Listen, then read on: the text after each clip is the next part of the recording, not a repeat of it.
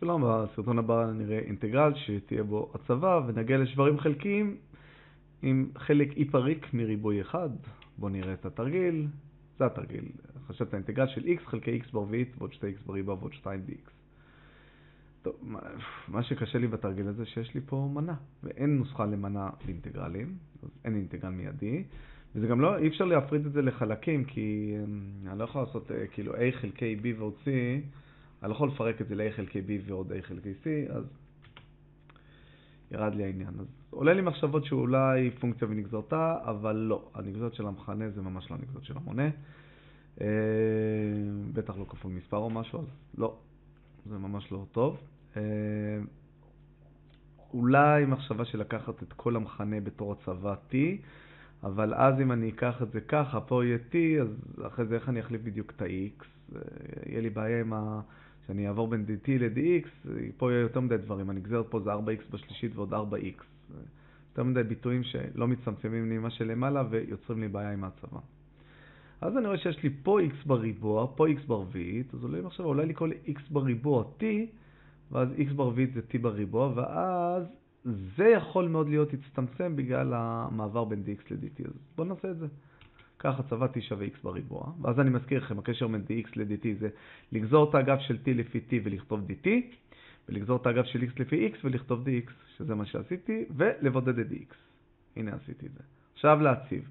אמרנו במקום tx בריבוע, זה פה t בריבוע ועוד 2t בריבוע ועוד 2. אה, dx זה dt חלקי 2x, עשיתי, ה-x'ים מצטמצמים. את ה-2 אפשר להוציא, את החצי פה אפשר להוציא החוצה, והנה זה מה שעשיתי. אז זה כבר שברים חלקיים, זה פולינום חלקי פולינום, שמה, ואפילו מעלת המכנה יותר גבוהה, זה מתאים ישר לשברים חלקיים. ובשברים חלקיים, קודם כל, שברים חלקיים, קודם כל מנסים לראות האם יש uh, קטעים פריקים, זאת אומרת, האם יש שורשים למחנה. ואם אני אעשה T1, 2, אז זה מינוס B, אז זה מינוס 2, פלוס מינוס שורש של 4 מינוס 8. אז אין.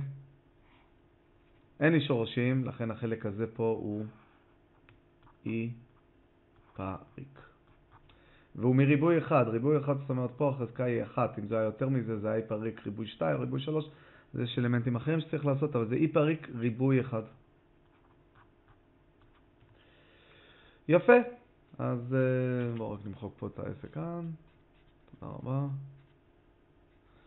ואם זה אי פריק ריבוי אחד, מה עושים? אז אם זה אי פריק ריבוי אחד, עושים את הדבר הבא. עושים פה בחלק הזה, ש-t בריבוע ועוד 2t, עושים השלמה לריבוע. בסגנון הבא, אם יש לך x בריבוע ועוד bx, זה x ועוד b חלקי 2 בריבוע ועוד איזשהו קבוע, איזשהו מספר. עוד איזשהו מספר, מה זה ועוד קבוע? ועוד איזשהו מספר.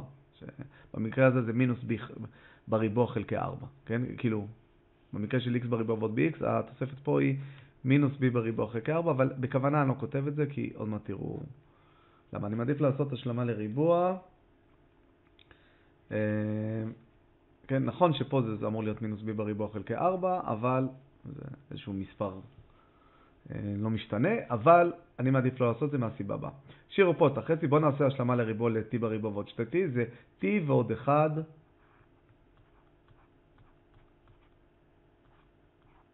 בריבוע השלמה לריבוע, אז זה t בריבוע ועוד 2t, אבל יש כאן עוד תוספת, התוספת היא ועוד 1.